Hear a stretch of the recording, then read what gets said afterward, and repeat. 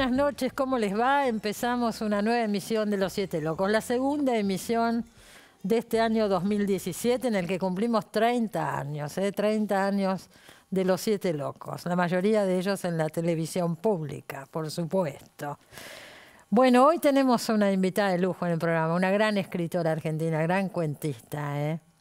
Acá tengo un libro nuevo que acaba de salir, en realidad es una son sus cuentos reunidos, todos los cuentos que ha escrito en su vida en este volumen. Merece, merece el libro, merece esta charla y usted ya la va a escuchar. Hay muchos temas que queremos hablar con ella. Vamos a ir pasando también algunas de nuestras secciones, los escritores en sus bibliotecas, etcétera. Pero empezamos presentando a nuestra invitada. Ahí va. Liliana Hecker es novelista, cuentista y ensayista una de las más importantes del país, autora entre otros títulos de La muerte de Dios, El fin de la historia y La crueldad de la vida. Publicó Cuentos Reunidos, volumen que reúne todos sus cuentos hasta la actualidad. Bueno, acá lo tengo, ¿eh? Cuentos reunidos de Liliana Hecker. Reunidos, no completos. No, de ninguna manera completos. Porque va a haber nuevos, va a haber más. No tengo ningún interés en completarme. La verdad que no tengo ningún y tengo muchas cosas por completar todavía y me moviliza mucho el estado de incompletud. Mm, y seguimos adelante. De todas maneras, todos los cuentos que has escrito están acá todos los cuentos que, por lo menos todos los cuentos que publiqué y algunos inéditos eh, escritos en esta última época. sí. Yo pensaba, ¿no? Ya vamos a hablar, tenemos tiempo. Los inéditos, hay algunos muy breves. Así es, un género que nunca había, por lo menos, publicado. Eh, y muy poco escrito, pero eh, en los últimos tiempos eh, empecé a escribir algunos breves, y algunos están en efecto en el libro. Son como reflexiones, ¿no? hay uno, ¿cómo se llama?, que me gustó tanto. El de esta mujer que se da cuenta, lo que hablábamos recién de Postergaciones. Postergaciones se llama. Sí, no sé, el que está en el aeropuerto. No, ese también es muy bueno. Horchata de chufa, no sé cuál. No, no, ese es muy bueno. Eh, no. El verdadero Esta sabor. señora que ya se da cuenta que no tiene nada más que hacer en la vida. Ah, no, ese, pero ese no es breve. Eh, ese es, una, es el último cuento que escribí, que es Giro en el aire. Giro en el aire. Giro en el aire es un cuento tamaño cuento. soy para acordarme los No, no importa, no te preocupes, pero Giro en el aire, ah. en rigor, es el último cuento que terminé. Eh, muy pocos días antes de eh, terminar de, compaginar todo el libro. Sí, así es. Y es una eh, temática que sin duda me moviliza, ¿no? El de la falta de ganas, el de la posibilidad justamente de, ese blanco que ocurre y ocurre siempre, pero que en determinadas etapas de la vida bueno, dan lugar a que uno se pregunte, ¿y si esto no termina y si sigo en blanco? Bueno, eso sin duda es lo que dio lugar al cuento Giro en el aire. Hay varios temas que se me ocurren a raíz de esto. Primero, la longitud, porque hay textos brevísimos y hay cuentos que ya uno diría son casi una novela. Sí, eh, yo casi los llamaría novelas. de hecho, eh, hay, el libro está separado en tres secciones que reúnen 14 cuentos cada uno y, cada y las secciones están separadas entre sí por tres novelas. Cierro el libro con una novela. Y esas para mí son novelas, es un género que me fascina y que está a caballo entre el cuento y la novela, dos géneros que realmente me tironean, y, la novela también. Sí, ya sabemos que te tironean. Vos tenés dos novelas. Dos novelas, dos sí. Novelas. Dos novelas. Eh, Zona de clivaje. Zona de clivaje. Es del año 87, lo sé muy bien. Lo sabés muy, lo sabés casi mejor que nadie, Cristina, y debo decirlo yo, ya que vos sos la que en general entrevista, pero yo debo decir que Cristina fue la que debutó en Los Siete Locos en este programa y va a ser 30 años y va a haber que celebrarlo sin duda, haciéndome una entrevista porque yo acababa de, sobre zona de clivaje. Sobre zona de clivaje. Fue un programa que hicimos una mesa redonda, estaba Tomás L. Martínez conmigo. Hicimos una mesa redonda sobre escritores y política vino Osvaldo Soriano, vino Dalmiro Sáenz, eh, fue muy polémica la mesa. Era, claro. y yo eh, aparecí después solita con Liliana, yo ah. aterrada, bueno, fue la primera nota que hice sola, la otra estábamos con Tomás y que yo. Y después Tomás entrevistó a Alberto Laiseca, él solo. Fue un programa, por un lado fue espléndido, por otro lado estábamos muy enojados. Porque, empezó muy tarde. Empezó muy tarde, fueron relegando el programa. yo cometí ese error. Me habían dicho en el canal que iba a ir en la trasnoche, ¿no? Ahora también estamos en la trasnoche. Y dieron a elegir entre martes y jueves. Y yo elegí, no me acuerdo si era martes o jueves, el día que antes estaba Tiempo Nuevo, el de Neustadt, que era el boom. No, va. Ah, Entonces dije, vamos a tener audiencia. Cuando termina Neustadt empezamos otra. Lo que yo no pensé es que Neustadt terminaba cuando se le daba la gana.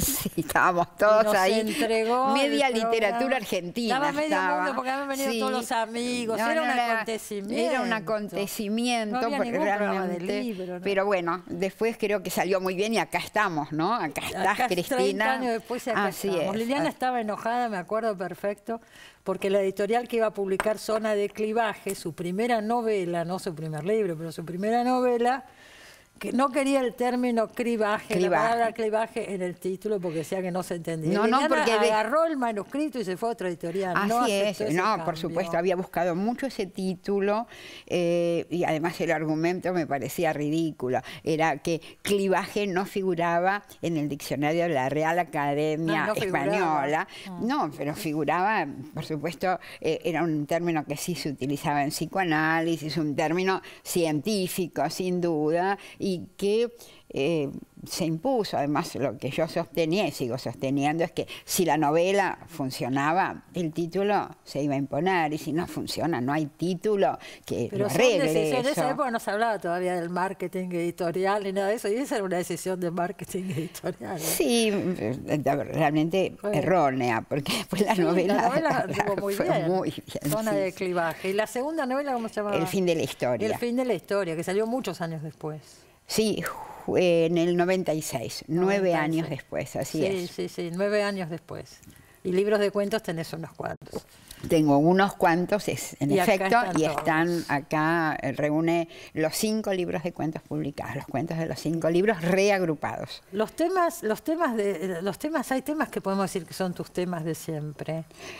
Yo no puedo decir cuáles son mis temas de siempre. Vos sabés perfectamente. Pero sí sé que los mundos que me fascinan. Eh, de hecho, hay las tres secciones que agrupan cuentos, tienen títulos de cuentos míos que de alguna manera yo creo que son aglutinantes uno es, la primera parte se llama La fiesta ajena. Empieza, el famoso cuento, vamos a decir, de Liliana es La fiesta ajena. Debe ser como Abelardo Castillo con la madre de Ernesto. Exactamente, son esos Liliana con la fiesta ajena. Son cuentos afortunados. muy este cuento está traducido. sí, sí, eh, supongo que sí. Este, tengo que admitir que tiene mucha repercusión. Cuando yo me encuentro con alguien en la calle, ah, Liliana Hecker, yo leí, Digo, sí, la, fiesta, ajena. Pero bueno. ¿De qué año es la fiesta ajena?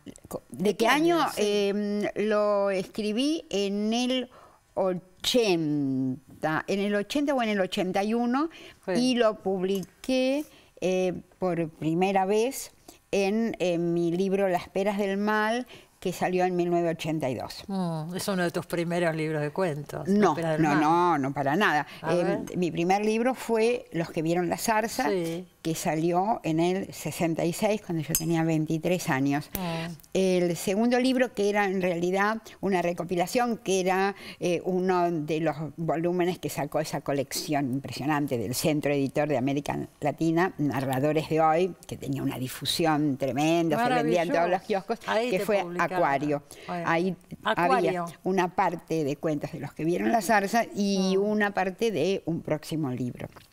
El tercer libro fue Un resplandor que se apagó en el mundo, que en realidad es un tríptico.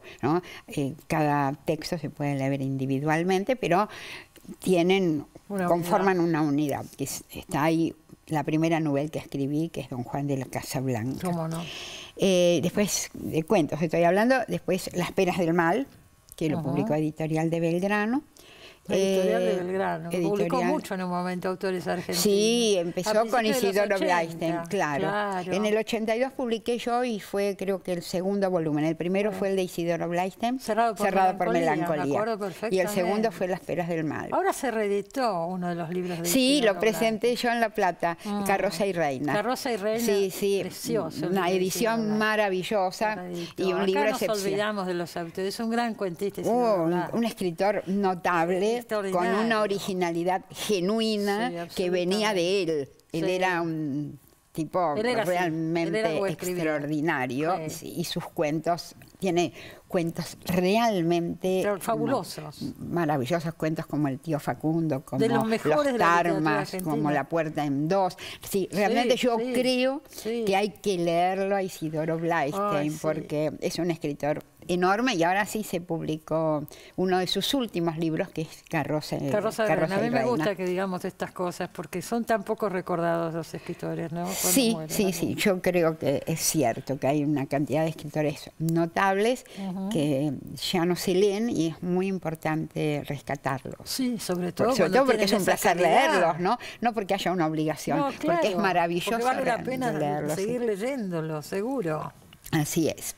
Bueno, un tema lleva al otro. Vos empezaste muy chica a escribir. Eh, sí, empecé muy chica a existir literariamente. Eh, ¿Qué eh, tenías? ¿16 años? 16 años cuando eh, entré al grillo de papel. Sí, eh, cumplí enseguida 17. Sí, eh, en ese momento el grillo de papel la dirigían cuatro directores. y ahí entré yo, después había leído, había visto y había leído el primer número del grillo de papel y ahí como había una pequeña notita que decía convocamos a los jóvenes narradores y poetas, yo decía, es lo mío y ahí que les este, escribí. Sí, les mandé una carta, un poema malo, por supuesto, y ahí me llamó uno de los directores, absolutamente desconocido, eh, Abelardo tenía 24 años en ese momento, Abelardo Castillo, nos encontramos y él me propuso eh, venir a las reuniones del Grillo de Papel. Eso fue un jueves y el viernes yo ya estaba entrando en el Café de los Angelitos. Ahí se hacía, ¿dónde quedaba el Café de los Angelitos? Sí, sigue, pero ahora es un café para turistas, no tiene nada que ver, era un café muy grande donde este, la gente, los hombres iban a jugar a los dados. en Rivadavia, ¿no es Rivadavia y Rincón, tiene un tango, Café de los Angelitos en Rivadavia y Rincón, sí, por supuesto.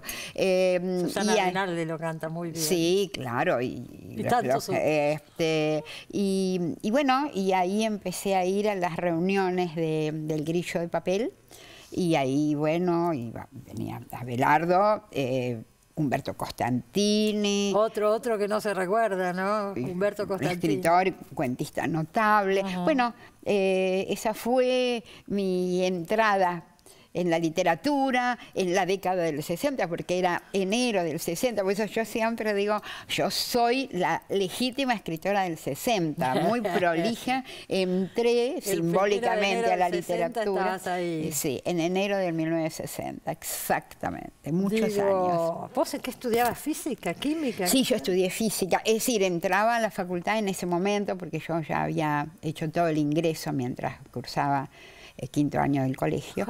Así que cuando entré al grillo yo ya estaba en exactas.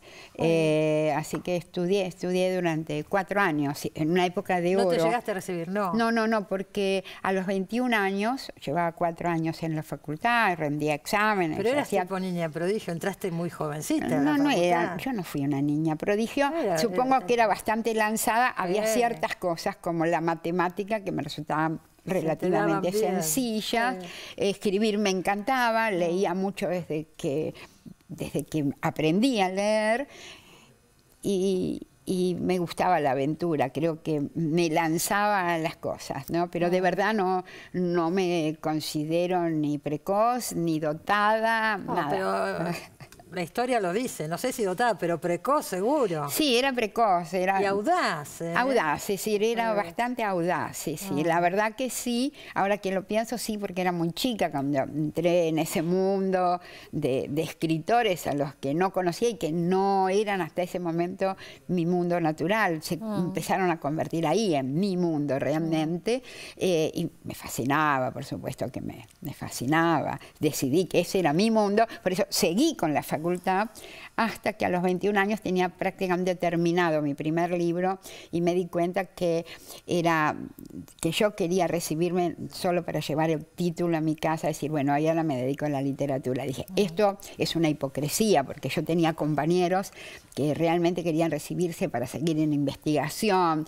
La facultad de ciencias exactas era un lujo en los años 60. Barsaski, Sadowski, ah. Spivakov, Ruederer, eran realmente profesores extraordinarios y yo eh, que me formé en esa facultad y estoy muy agradecida a haberme formado en ciencias exactas, en realidad no estaba interesada en la ciencia, sino en la literatura. Por eso a ah. los 21 años dejé, dejé la ah. carrera. ¿Cómo cayó en tu casa eso? Muy mal. Eh, mi papá ya había muerto, mi papá murió cuando yo tenía 18 años. Eh, pero para mi mamá y para mi hermana fue eh, muy inquietante porque yo dejaba una carrera que parecía, digamos, segura por algo totalmente incierto, como es la creación, era una decisión mía. Yo quería ser escritora, pero. ¿quién podría garantizar algo? ¿No? ¿Quién lo puede garantizar hoy mismo? Yo, el momento en que no estoy escribiendo, no me siento escritora. Un escritor, yo tal vez soy escritora para los otros, un escritor se siente escritor o siente que se justifica llamarse escritor cuando está creando, ¿no? Y entonces es siempre incierto. Por supuesto, ahora para los otros es menos incierto de lo que era cuando eh, tenía 21 años, eh, pero cayó mal. Eh, pero bueno, yo estoy muy agradecida a mi rebeldía. me hago cargo de todas las oposiciones que tuve y de que igual seguí para adelante eh, y la verdad que por suerte lo hice, ¿no? Mm. Porque siento que, que viví y sigo viviendo la vida que quiero. Por eso no tengo nostalgia ni de la adolescencia ni de la juventud. Tengo 74 años y siento que cada época la viví muy a fondo y la sigo viviendo bastante a mm. fondo. Así que no soy nostálgica. Y épocas diferentes, porque si uno piensa, ya, ya me voy al corte, pero si uno piensa